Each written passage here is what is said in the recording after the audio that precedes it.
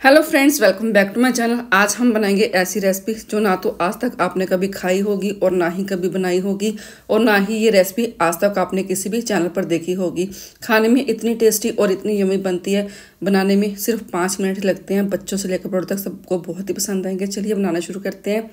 तो इसको बनाने के लिए यहाँ पर हमने लिए हैं ब्रेड के पाँच स्लाइसिस बारीक कटे हुए प्याज, साथ ही यहाँ पर हमने लिए है मजरोला चीज़ और साथ ही यहाँ पर लिए हमने कुछ कॉर्नस और साथ ही हमने यहाँ पे लिए शिमला मिर्च, जिसको हमने बारीक काट लिए।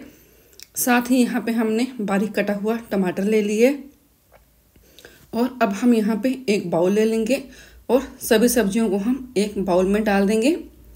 हम इसमें मसरोला चीज़ नहीं डालेंगे, बाकी सारी सब्ज़ियाँ हम इसमें डाल देंगे।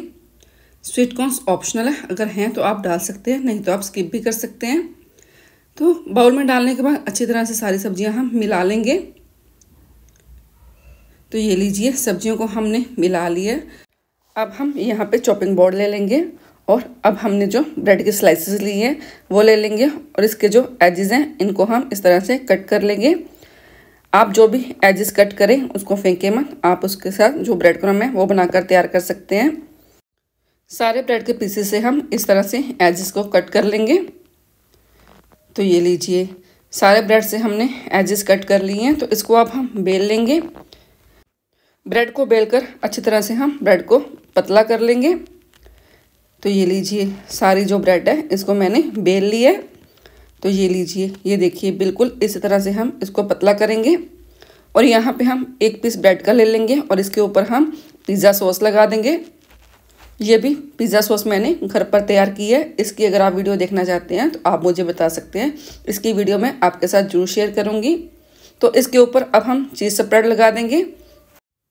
तो ये भी चीज़ स्प्रेड मैंने घर पर बनाकर तैयार की है। इसको भी बनाना बहुत ही आसान है। अगर इसकी वीडियो भी आप देखना चाहते हैं तो आप मुझे बता सकते हैं। और अब हमने जो सब्जियों को मिक्स करके रखा था, इस तरह से साइड्स पे हम इसके ऊपर लगा देंगे और इसके ऊपर हम मजरोला चीज़ डाल देंगे। चीज़ डालने के बाद इसके ऊपर हम डाल देंगे औरिगैनो चिली फ्लेक्स डाल देंगे। और डालने के बाद बहुत ही आराम से हम ब्रेड को उठा लेंगे। एक साइड से उठाएँगे और इसको हम इस तरह से रोल कर देंगे। बहुत ही आराम से हम इसको रोल करेंगे क्योंकि ब्रेड जो है वो काफ़ी पतली है। तो दोनों साइडों से इस तरह से पकड़ कर हम इसको अच्छी तरह से रोल कर देंगे। तो ये लीजिए, एक रोल हमने यहाँ पे बनाकर तैयार कर लिए और उसी तरह से हम दूसरी ब्रेड ले लेंगे और इसके ऊपर भी हम पिज़्ज़ा सॉस लगा देंगे और हमने जो चीज़ से ब्रेड तैयार की है उसको लगा देंगे और इसके ऊपर सब्ज़ियाँ डालकर हम दूसरा रोल बनाकर तैयार करेंगे। तो ये लीजिए, दूसरा रोल भी मैंने बनाकर तैयार कर लिया, बाकी के रोल भी हमारे बनकर तैयार हो चुके हैं।